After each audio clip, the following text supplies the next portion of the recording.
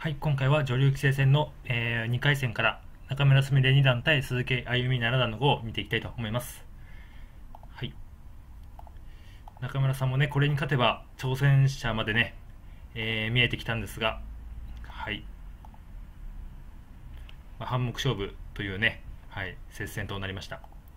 えっ、ー、と、ここでコスミツケに対して手を抜いたのは初めて見ましたね。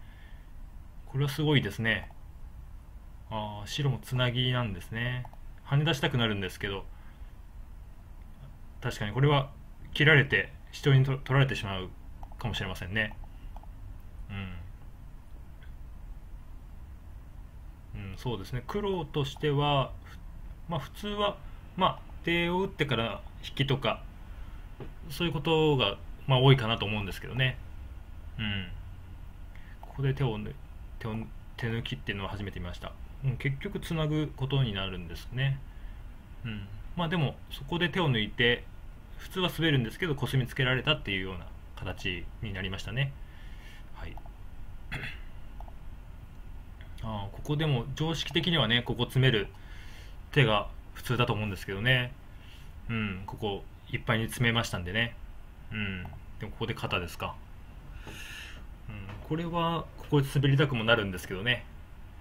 今三々入った格好と思えば、うん、まあ白はここ続けて打ちましたね、はい。うん、いやここにすごく目がいくんですけど、うん、お互い打ちませんね、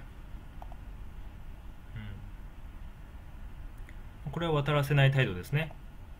まあつけるとか、まあ、こっちは飛ぶとかが結構普通かなと思うんですけどね。これは、うん、戦おうっていう態度ですね。うん。これはここで切ってですね。うん。まあ、白もこれだと、まあ、捨てて打ちましたね。まあ、白は伸びずに、ここで突き二段でね、あの、さばく打ち方もあったと思いますね。膨らまれてもここ滑ってしまえば、別に大したことないので。はい。うん。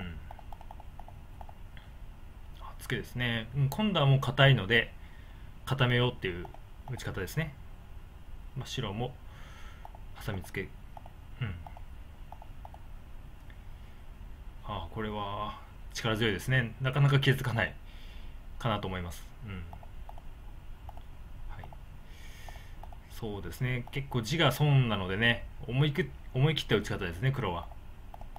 うんちょっとでもこの形がちょっと断点が多いのでね。ちょっと打ちにくいですかね。ちょっと白ペースかなと思いますが。うん。はい。あこれここは、うん、このようになって、うん、これも先手ですね。うん。はい。うん、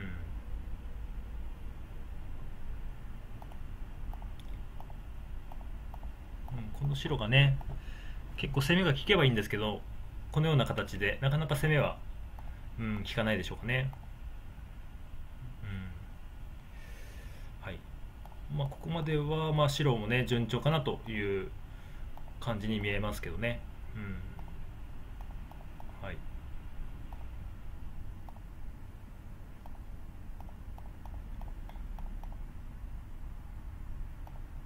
まあ、まだ100%の域ではないですね。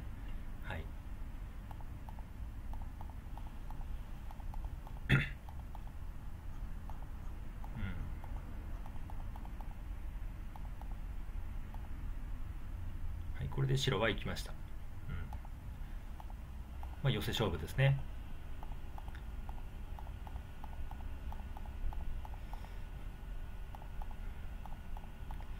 うんまあ分かりませんけど、まあ、この辺りはね、まあ、白の方が厚いのかなっていう感じはしますね。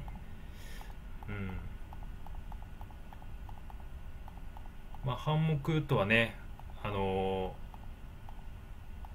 予想したより細か細かかったのかなという印象ですけどね、うん。まあ、よく半目まで追い上げたなっていう感じです。